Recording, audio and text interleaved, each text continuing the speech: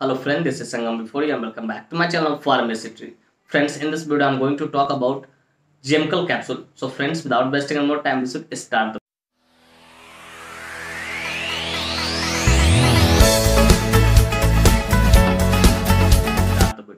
friends video को शुरू करने से पहले कुछ बातें मैं यहाँ पे शेयर करना चाहूँगा जो कि आपके लिए एक तरह से वार्निंग है फ्रेंड्स ये वीडियो सिर्फ़ जानकारी के उद्देश्य से बना है इस वीडियो को देखने के बाद कोई भी मेडिसिन आप खुद से न ले ना करें friends actually I don't support self medication at all so before taking any medicine you must consult your doctor कि कोई भी दवा लेने से पहले आप अपने डॉक्टर से ज़रूर कंसल्ट करें। फ्रेंड्स चलिए वीडियो की शुरुआत करते हैं। फ्रेंड्स आज का हमारा टॉपिक है Gemcal capsule friends Gemcal capsule बहुत ही ज़्यादा प्रचलित कैप्सूल है, जिसका इस्तेमाल कैल्शियम की कमी को पूरा करने के लिए किया था मान लीजिए, अगर कोई पेशेंट है, उसमें कैल्शियम में की कमी है सब, शरीर में बॉडी में तो उसको पूरा करने के लिए इसका इस्तेमाल किया जाता है।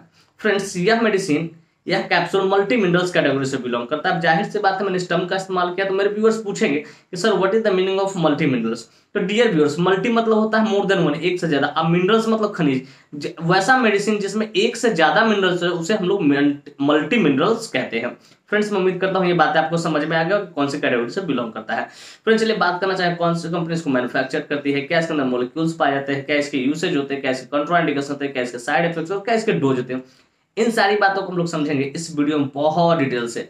Friends I will make you understand each and everything in a very simple way मैं यहाँ पे हर एक चीज़ों को बहुत शानदार तरीके से, बहुत सस्ता भरे तरीके से समझाने वाला हूँ और समझाऊँगा भी। तो फ्रेंड्स सबसे पहले हम लोग ये बात करना चाहेंगे विच सबसे पहले हम लोग ये बात कौन सी कंपनी इसको मैन्युफैक्चर करती है? Friends first of all I like to talk about which company manufacture it कि कौन सी कंपनी इसको मैन्युफैक्चर करती है। तो फ्रेंड्स इस मेडिसिन को मतलब जेमकल कैप्सूल को जेमकल मेडिसिन को अल्केम फार्मास्यूटिकल इंडस्ट्री द्वारा मैन्युफैक्चर करता है, जो कि अपने आप में हाईली रेप्यूटेड फार्मास्यूटिकल इंडस्ट्री है।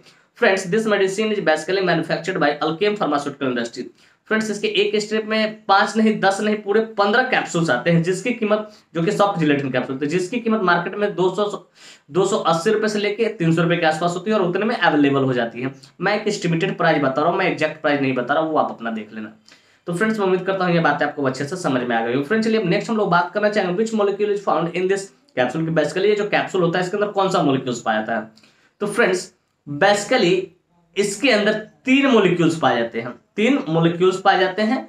तीनों मोलिक्यूल्स के अलग अलग नाम है। नंबर वन है इसमें कैल्सी ट्रायोल जिसको वाइटामिन डी वाइटामिन डी बोलते हैं। कैल्सी ट्रायोल जिसको वाइटामिन डी बोलते हैं।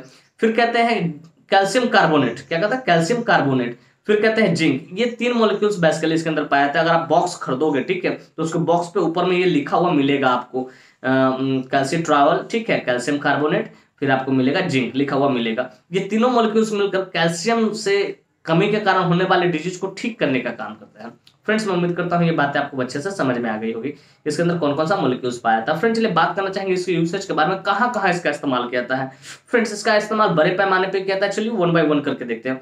फ्रेंड्स नंबर वन इसका यूसेज है ट्रीटमेंट ऑफ़ कैल्शियम डिफिशियंसी अगर किसी व्यक्ति के बॉडी में कैल्शियम की कमी हो तो उसको ठीक करने के लिए इसका इस्तेमाल किया जाता है। कैल्शियम की कमी को ठीक करने के लिए इसका इस्तेमाल किया जाता है।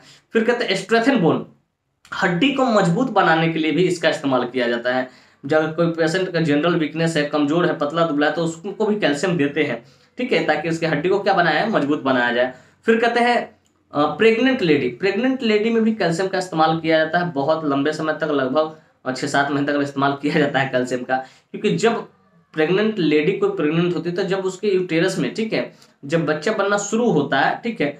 तो उसमें बोन बनेगा तो कैल्शियम माँ से ऑब्ज़र्व करेगा, ठीक है? तो माँ को बॉडी से ऑब्ज़र्व करता है तो उसको भी दे प्रेग्नेंट लेडी को इसलिए दिया जाता है, ताकि क्या करे कि बच्चे को जो बोन बने, वो स्ट्रांग बन सके। तो प्रेग्नेंट लेडी में भी इसका इस्तेमाल किया जाता है। फिर कहते हैं रिमेटॉइड अर्थराइटिस अगर किसी व्यक्ति को अर्थराइटिस है ज्वाइंट पेन है तो वो उसमें भी इसका इस्तेमाल किया जाता है, क्योंकि कैल्शियम की कमी के कारण रोमेटॉइड अर्थराइटिस होता है। फिर कहते हैं ज्वाइंट पेन ज्वाइंट पेन जैसे घुटनों में लोअर लिम्स अपर लिम्स कहीं भी आपको ज्वाइंट पेन है तो उसमें भी कैल्शियम को सपोर्ट के तौर पे दिया जाता है। ठीक, हालाँकि उसका मेन दवा कुछ अलग चलता है रोमेटाइड का ज्वाइंट पेन का। फिर कहते हैं ऑस्ट्रियोपोरोसिस अगर किसी व्यक्ति को ऑस्टियोप्रोसिस हो गया ऑस्टियो हड्डियों का झरना जिसको भूरापन बोलते हैं तो उसको भी ठीक करने के लिए इसका इस्तेमाल करते हैं बेसिकली वो कैल्शियम की कमी कारण ही होता है।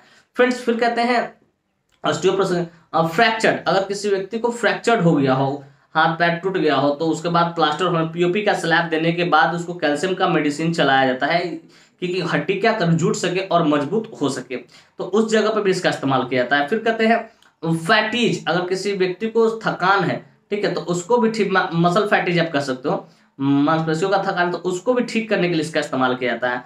फिर कहते हैं रिड्यूस मसल मसल लैक अगर किसी व्यक्ति को मांसपेशियों में भी दर्द है, ठीक है? तो उसको भी ठीक करने के लिए इसका इस्तेमाल किया जाता है। फिर उसके अलावा इसका इस्तेमाल कुछ और जगहों पर किया जाता है, चलिए बारे में। फिर उसके बाद इसका इस्तेमाल क्रैम्प्स इन काफ कि पिंडलियों में जो दर्द होता है, जैसे घुटने के नीचे के जो मांसपेशी होता है, पीछे की ओर से, ठीक है? और उसमें दर्द होता है तो वहाँ कैल्शियम की कमी कारण तो उसको भी ठीक करने के लिए इसका इस्तेमाल किया था तो फ्रेंड्स, बेसिकली अगर मैं घुमा फिरा को इन शॉर्ट में कहूँ तो इसका इस्तेमाल कैल्शियम से होने वाले कमी के डिज़ीज़ को ठीक करने के लिए क्या जाता है? या कैल्शियम की कमी को ठीक करने के लिए किया जाता है? और कैल्शियम के कमी का होने वाली डिज़ीज़ मैंने बता दिया आपको कि पहले मैंने बताया कि रिड्यूस रिड्यूस पहला बताया आपके मसल स्पाज्म हो सकता है ज्वाइंट पेन अर्थराइटिस होगा ऑस्ट्रियोप्रोसिस हो सकता है फ्रैक्चर के बाद दिया जाता है। तो सिंपली आप इतना समझो कि इसका इस्तेमाल कैल्शियम की कमी को पूरा करने के लिए किया जाता है। हालाँकि मैंने सारे यूसेज बता दें कहाँ कहाँ इसका इस्तेमाल किया जाता है। फ्रेंड्स एक और इस्तेमाल है जो मैं अपने जानकारी के आधार पर बताना चाहूँगा। अगर किसी पेशेंट का ऑपरेशन हुआ है, ठीक है एलएससीएस हुआ हो, चाहे एच हुआ हो, ठीक है तो उस पेशेंट को भी डिस्चार्ज करने के बाद, नौ दिन, आठ दिन रखने के बाद स्टिच रिमूव करने के बाद भी उसको एक दो महीने तक कैल्शियम दिया जाता है कैल्शियम आराम दिया जाता है। उससे होता है कि उसके शरीर में बोन क्या हो, मज़बूत हो और कैल्शियम की कमी के कारण उसको मसल एक्ट ना हो मसल स्पाइज ना हो, उसको दर्द न मसल दर्द ना करे, मांसपेशी दर्द ना करे, उसको इस चीज़ का एहसास हो तो उसको भी ठीक करने के लिए इसका इस्तेमाल किया है। तो फ्रेंड्स मैं उम्मीद करता हूँ ये एडिशनल जानकारी आपको बहुत अच्छी लगी हो। फ्रेंड्स मैं उम्मीद करता हूँ ये बात आपको अच्छे से समझ में आए कि कहाँ कहाँ इस्तेमाल किया जाता है। चलिए बात करना चाहेंगे इसका कंट्राइंडिकेशन का फ्रेंड्स बेसिकली इसका कुछ कंट्राइंडिकेशन नहीं होता है। इस बात को याद रखिए, ज़्यादा कुछ कंट्राइंडिकेशन नहीं होता है इसको जानने को ज़रूरत नहीं क्योंकि एक तरह से हेल्थ सप्लीमेंट है, ठीक है। फ्रेंड्स चलिए बात करते हैं साइड इफेक्ट्स फ्रेंड्स बेसिकली इसका साइड इफ़ेक्ट भी ज़्यादा कुछ होता नहीं, लेकिन अगर आप ओवरडोज लेते हैं if you take it as overdose अगर ओवरडोज आप लेते हैं, ठीक है तो कुछ ऐसा साइड इफेक्ट्स आपको देखने को मिल सकते हैं।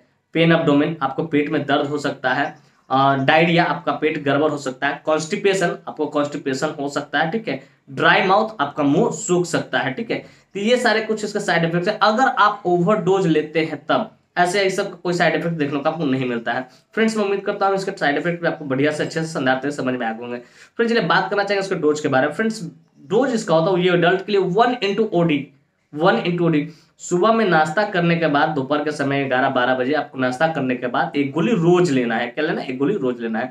तो फ्रेंड्स मैं उम्मीद करता हूँ कि ये बातें डोज भी आपको अच्छे से समझ में आ गई हो फ्रेंड्स मैं फ्रेंड्स मैं उम्मीद करता हूँ ये बातें आपको क्लियर क्रिस्टल हो गई होगी जेमकल कैप्सूल क्या होता है, कौन सी कंपनी इसको मैन्युफैक्चर करती है।